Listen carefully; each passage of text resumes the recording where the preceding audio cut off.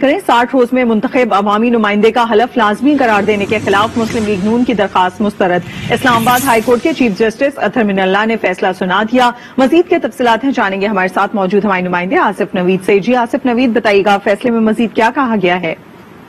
देखिए, Islamabad high court ने एक अहम तरीन दरख्वास्त दायर की गई थी मुस्लिम लीग नून की जानब से, जिसमें कहा गया था कि साठ रोज में मुंतब अवामी नुमाइंदे का हलफ लेना लाजमी करार देने की जो है जो जो ऑर्डिनेंस है, उसके खिलाफ उन्होंने दरखास्त दायर की थी।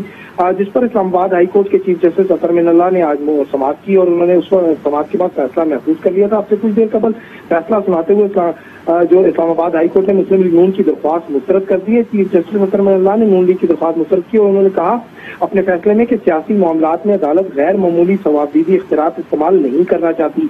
ये पार्लिमानी मसाइल हैं इनको पार्लियामेंट में ही हल होना चाहिए। और उम्मीद है कि इसके पटिशनर मुस्लिम लीग नून समेत तमाम सियासी जमातें तनाजात को हल करने के लिए पार्लियामेंट में ही हल करेंगी और पार्लियामेंट को मज़बूत करने से करना ही ज़रूरी है।